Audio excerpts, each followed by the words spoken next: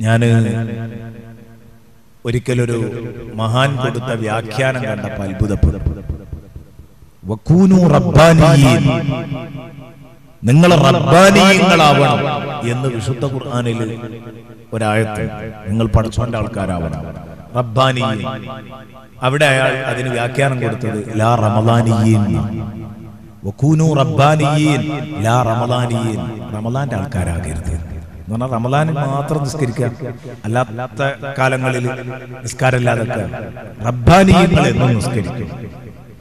എന്ന് കരുതി റമദാനിൽ ഉഷാറായിക്കൂടെ? ഉഷാറാവണം തന്നെയാണ്. അത് എല്ലാവരും പറഞ്ഞത്. പക്ഷെ റമദാനിൽ മാത്രം പള്ളിന്റെ അകം കാണുന്നവരുണ്ട്. റമദാനിൽ മാത്രം പള്ളിന്റെ ഉള്ളിൽ കാണുന്നവരുണ്ട്. അങ്ങനെയായി പോകരുത്. അതുപോലെ തന്നെ ലാത്തക്കൂനു റമദാനി ഞാനത് ഇങ്ങനെ വായിച്ചപ്പോൾ ഇങ്ങനെ ആലോചിച്ചു. സംഭവം കുറെ ശരിയാണ് റമദാൻ തൊപ്പി പറഞ്ഞിട്ടൊരു തൊപ്പിയുണ്ട്. റമദാൻ മാസത്തിൽ മാത്രം വരുന്നതാണ് മുമ്പൊരാകെ തൊപ്പിയിടല്ലേ റമദാൻ മാസത്തിൽ. അന്ന് തലേ കയറുന്ന ഒരു തൊപ്പിയുണ്ട്. അതാ റമദാൻ മുപ്പത് കഴിഞ്ഞാൽ അവിടെ എടുത്തു പിന്നെ ഞാൻ അടുത്ത റമദാന്റെ എടുക്കുള്ളൂ. അപ്പൊ അങ്ങനെ റമദാൻ സ്പെഷ്യലുകൾ ആവരുത് ജീവിതത്തിൽ റമദാൻ സ്പെഷ്യലുകൾ വേണം. റമദാനിൽ മാത്രം വിവാദത്ത് ഒതുങ്ങിപ്പോകുന്ന ഒരു ശീലം ഉണ്ടാവരുത്. അള്ളാഹു കാക്കട്ടെ.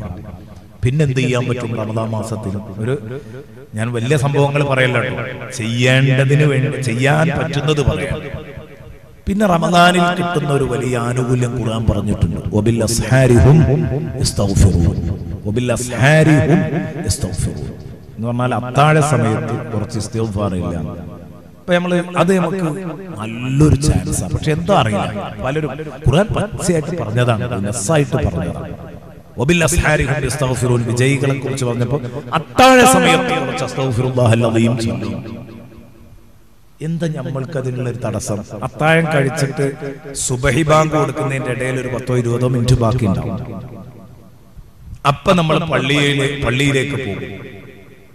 അല്ലെങ്കിൽ ബാങ്ക് കൊടുത്തിട്ടാ പള്ളിക്ക് പോകും. പക്ഷെ ഈ ഒരു പത്തിരുപത് മിനിറ്റ് നമ്മൾ വെറുതെ ഇങ്ങനെ ചെറിയ തോളിലിട്ട് ഇങ്ങനെ ആ വായു പൊളിച്ച് ഇങ്ങനെ ഇരിക്കലാണ്.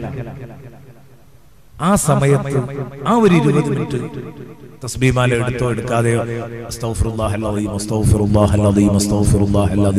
ജീവിതത്തിൽ വന്നുപോയ തെറ്റുകുറ്റങ്ങളൊക്കെ മനസ്സിൽ ഇങ്ങനെ കണ്ട് വേദനയോടെ പഠിച്ചോനെ എനിക്ക് പുറത്തു തരണം ഞാൻ നിന്നോട് പൊറുക്കലിനെ തേടുന്നു എന്ന് പറഞ്ഞിട്ട് ഇസ്തിഗ്ഫാറുകൾ നടത്തിയാൽ വബില്ലസ്ഹാരി ഹും യസ്തഗ്ഫിറൂൻ.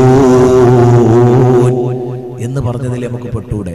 അപ്പൊ എല്ലാ ദിവസവും അത്താഴം കഴിച്ചിട്ട് ഒരു നൂറ് തവണ അസ്തഗ്ഫിറുല്ലാഹൽ അദീം പറയാം. നൂറ് തവണ അസ്തഗ്ഫിറുല്ലാഹൽ അദീം പറയാം. ഒരു പ്രയാസം അഞ്ചു മിനിറ്റ് കൊണ്ട് നടക്കില്ല അഞ്ച് മിനിറ്റ് അതിനു വേണ്ടി പതുക്കെ ചെല്ലുകയാണെങ്കിൽ തന്നെ അഞ്ച് മിനിറ്റ് ഈ അസ്തഗ്ഫിറുല്ലാഹൽ എന്നും ഒരു നൂറ് വട്ടം ചെല്ലിയാൽ ഏറ്റവും നല്ലതാ ആ ബാക്കി വരുന്ന സിസ്റ്റം വരുന്ന സമയമുണ്ടല്ലോ. ഫുള്ള് സ്വലാത്തിലും അങ്ങോട്ടും മുഴുക്കലാമല്ലോ ഇനി പോട്ടെ. ഒരു നൂറ് വട്ടം എന്നും ചൊല്ലിയാൽ എന്തായാലും റമദാൻ കഴിയുമ്പോഴേക്കും മൂവായിരം അസ്തഗ്ഫിറുല്ലാ കിട്ടൂലേ? മൂവായിരം കിട്ടൂലേ? അതൊരു ഇരുന്നൂറാക്കിയാൽ അതൊരു മുന്നൂറാക്കിയാൽ തൊള്ളായിരം ആവൂലേ? എന്റെ പ്രിയ ഒമ്പതിനായിരം ഈ ഒമ്പതിനായിരം പതിനായിരം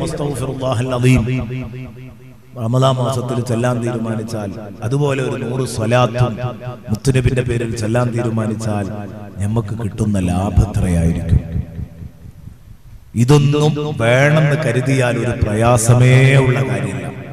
അള്ളാഹുവേ ഞങ്ങൾക്ക് നീ തൗഫീഖ് നൽകണേ അല്ലാ.